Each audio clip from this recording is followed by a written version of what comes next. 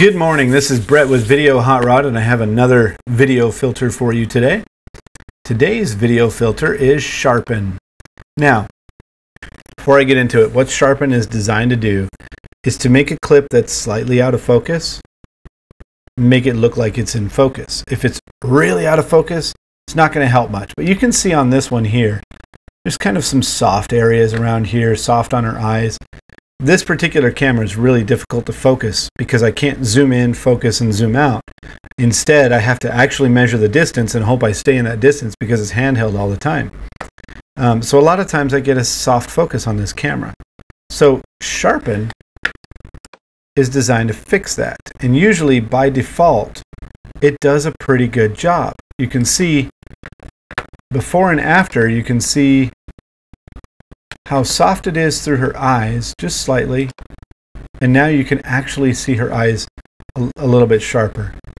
Generally speaking, the default amount is all you need. What it does is looks for areas of high contrast and adds a little bit of line to it or, or detail to it. But sometimes you might need to go more. Now, to me, going this far actually kind of makes the clip look dirty because it's going to bring some artifacts out um, it looks sharp, but it looks a little cheaper compared to even this. And then as you go too much, it just completely kills the clip. So I generally don't go very far if I'm going to use this filter. Right about there, maybe it's about four. This tends to look pretty good for me.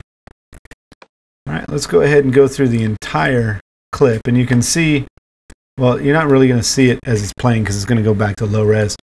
You can see how clean this, not clean, but how sharp this grass is. You can see the definite edge around the photographer and around the subject. Here, this is the before, this is the after. Makes it look like it's more in focus. We already saw Rachel. We'll move on to Alex. This is Alex before, Alex after.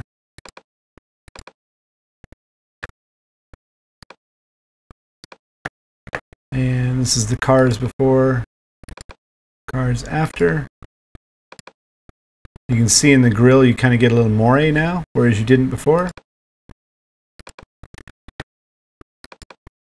And here's these rocks.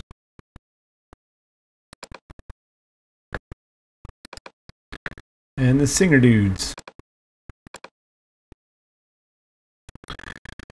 All right, I've used this filter many times. It's a it's a very good filter and it's actually a lifesaver. I did have an issue one time where the back focus of my camera went out. I didn't realize it had not been adjusted properly and I was just having a real difficult time focusing on the subject that I needed to to focus on and this filter at the end of the day came through and helped me out. All right, this is Brett from Video Hot Rod, and click those buttons and leave me some comments if you want to know any more. All right, thank you very much for watching.